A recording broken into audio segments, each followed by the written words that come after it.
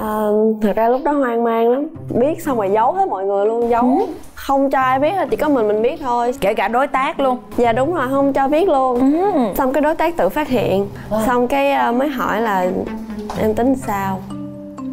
Cái em nói em đâu biết tính sao đâu. Lúc đó thì em cũng thích con nít cho nên là em nghĩ là thôi mình cứ giữ đi tại vì con là của trời cho mà. Đúng rồi.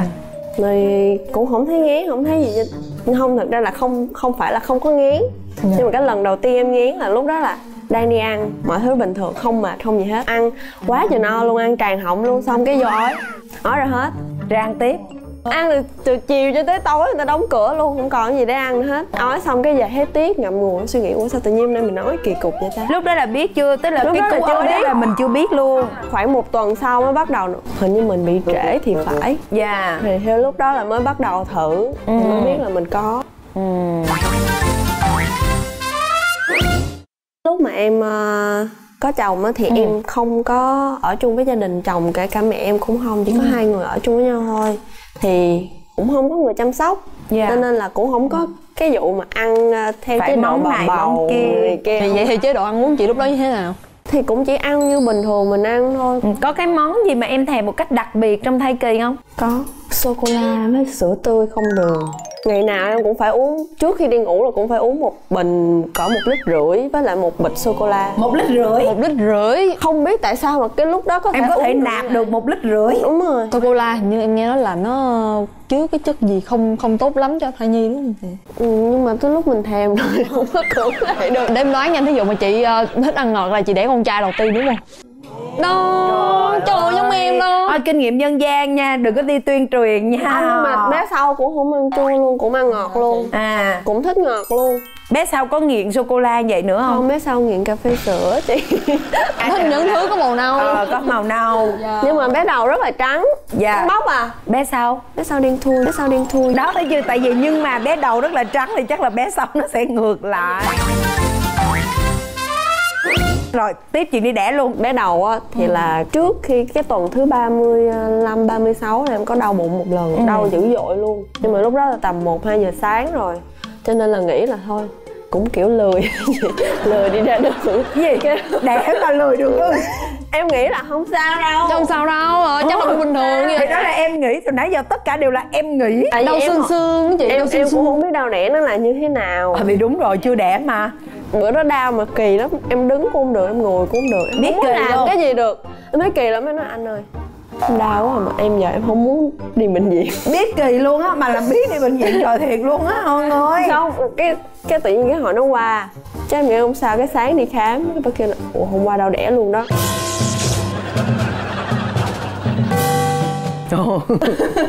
giống như mình quen với chuyện bụng mình vậy rồi có gì đâu trời ơi đau chắc là đau đau khác đâu phải đau đẻ đâu. Thôi mình vẫn chưa thật sự là gọi là chấp nhận cái chuyện là mình tới tới ngày đi đẻ. Không chịu đi đẻ. Không chịu đi đẻ. Không muốn đẻ. Cái bữa mà chị đi đẻ vậy thì chồng chị đưa đi đúng không đúng rồi đưa đi nhưng mà bình thường đi khám xong thì nghĩ là khám xong thì mình sẽ được ra mình gặp người nhà hay là gì đó mình hàng huyên tí xíu. À, trước khi mình lên phòng mổ rồi các kiểu không khám xong để thẳng phòng mổ luôn. Bà coi phim nhiều quá nè bà coi phim Cảnh nhiều quá.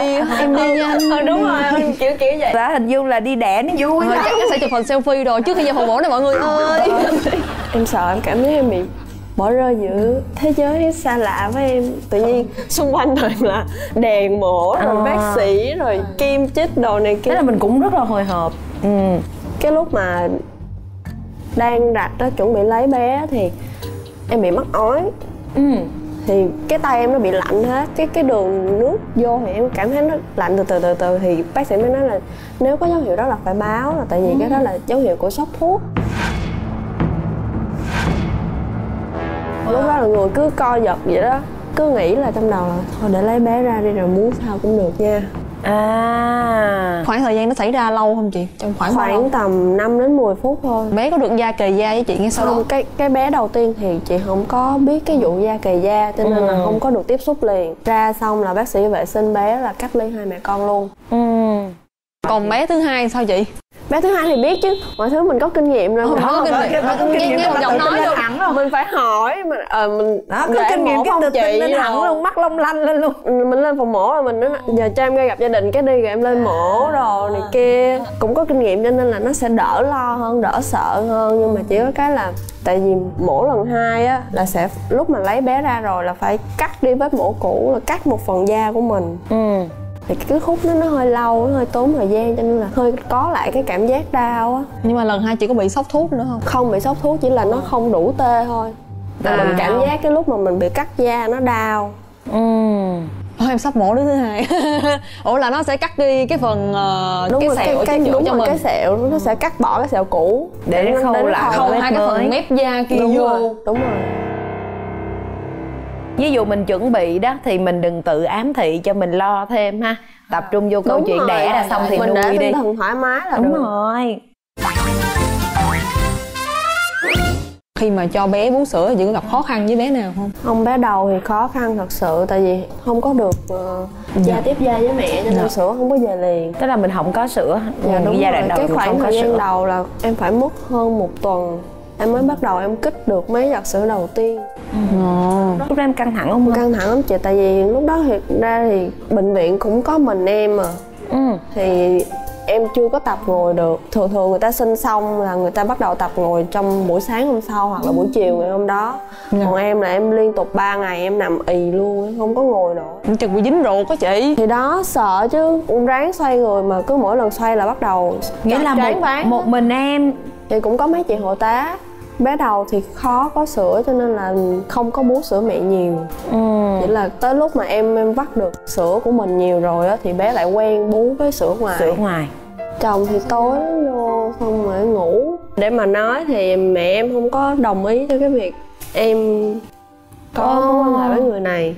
Từ từ lúc mà em lấy thì em với gia đình không có liên lạc với nhau luôn. Nặng nề như vậy luôn. Dạ quan trọng là giờ em phải tốt hơn để cho mẹ em thấy là mọi Ổn, thứ em ổn. và bé thứ hai thì tại vì sinh xong là bác sĩ sẽ cho tiếp gia liền nên là sữa về liền lúc đó là đó cái kinh luôn. nghiệm của mình lúc đó nó đã hỗ trợ cho mình rất là nhiều đúng không? Vậy là chỉ cần cho bé ờ, tiếp xúc với da kề da với mình là nó sẽ tiết ra một cái ờ, có sữa liền can sữa liền. À, đây là một kinh nghiệm để cho những Nhớ mẹ nào em, à, lần hai. để để mổ mà Ok. đó thì chúng ta hãy ờ, yêu cầu bác sĩ cho được ờ, da kề da để tránh cái tình trạng mà mất sữa sau sinh. Tại vì em thấy có rất nhiều bà mẹ là bị stress khi mà không có Đúng sữa cho con. rồi. Cảm thấy mình có lỗi với con quá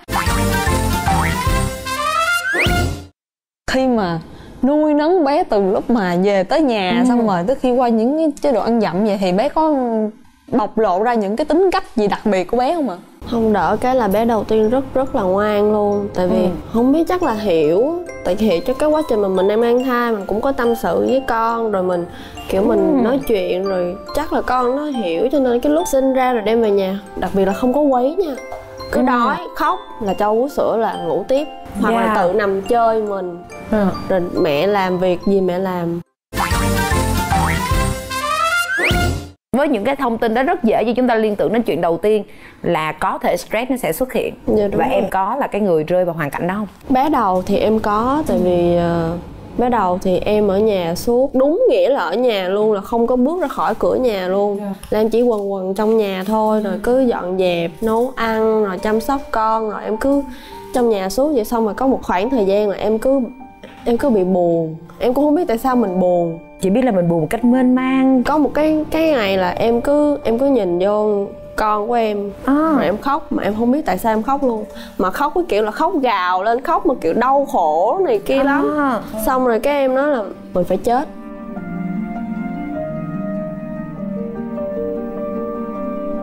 Wow. Em nghĩ trong đầu thôi.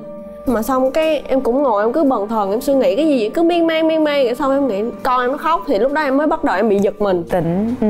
em mới quay qua là "Thì mình chết rồi con mình để cho ai. Lúc đó em em em biết là em bị stress rồi. Ừ.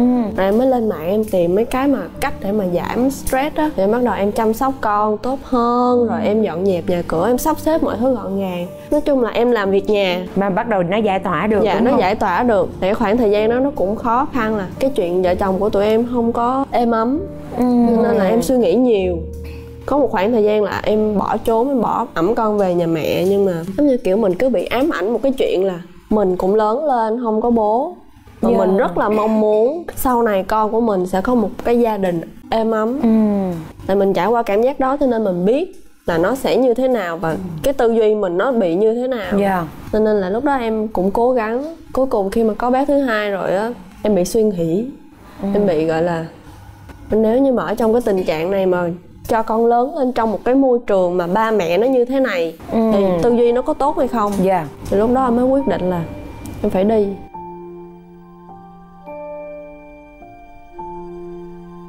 Thật ra là sau bé đầu là em không dự định có con nữa nhưng mà em có một cái khoảng thời gian là bé đầu khoảng tầm 8 tháng hơn thì em bắt đầu em có thêm một bé.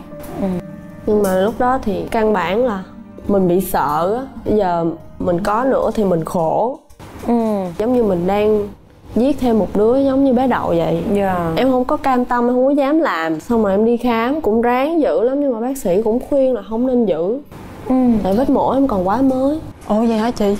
Lúc đó lớp mổ có mới 8 tháng à nếu mà đợi tới lúc sinh thì cũng không có gọi là chắc chắn. Em vừa phải làm việc nhà vừa phải kinh doanh rồi. Ừ. Cũng là nguồn thu nhập chính trong gia đình luôn cho nên là em đâu có ngưng được ngày nào đâu dạ mình cũng ráng là làm nhẹ nhàng lại thôi chứ đâu có đâu có nghỉ ngơi được.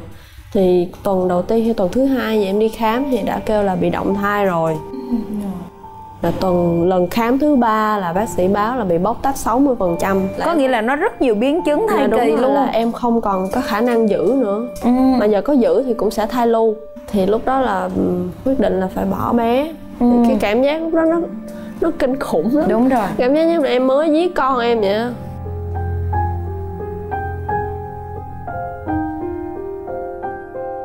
em bị dằn vặt suốt luôn cho tới khi mà em có bé mè ừ lúc đó thì mẹ cũng mẹ lại giận thêm một lần nữa là mẹ từ luôn.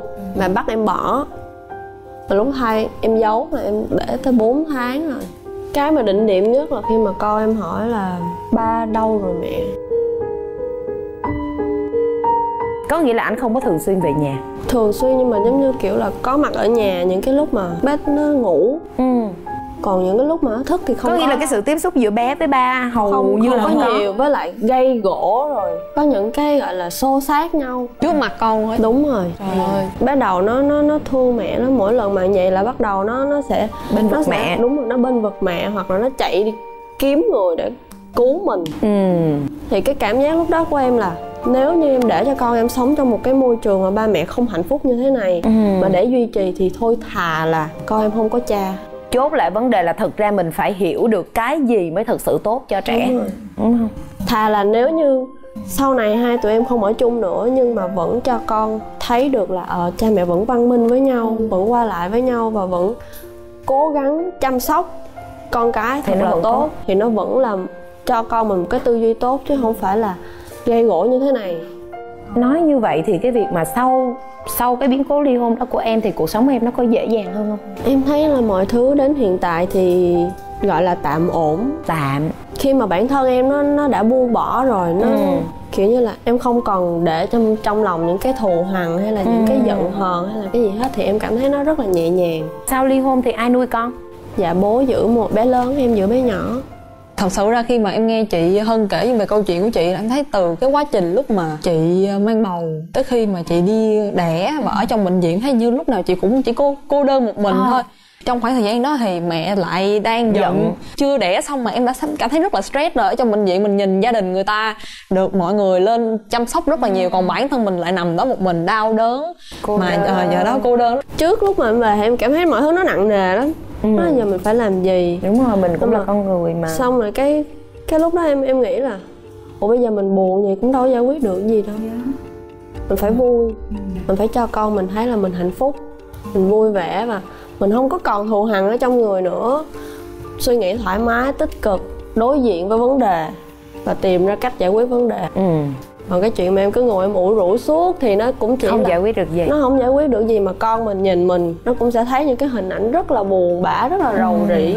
Cho nên là em em muốn à ở khi mà mình với con mình giống như là phải là những người bạn. Ừ. cuộc sống hiện tại với mẹ như thế nào? Cái ngày đầu tiên mà bước về á thì tại vì là có một lần về rồi xong Ừ. rồi đi nữa thì lúc đó là mẹ bị thất vọng rồi. Là lúc đó là mẹ kiểu như là mẹ không cho em đụng tới con luôn. Lần vừa rồi nè về là không cho đụng tới con đi chơi đi đâu đi đi.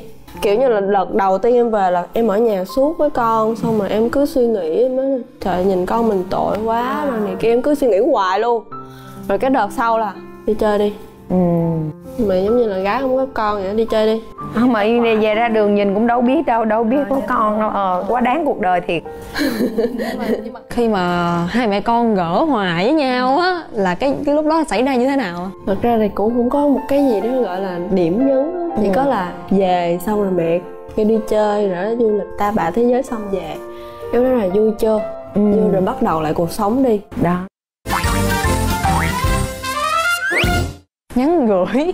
Chị muốn nhắn gửi đến ai? Phải nhắn cho mẹ. Con cảm ơn mẹ vì đã luôn ở đó, chờ đợi, kiên nhẫn và yêu thương một cách âm thầm.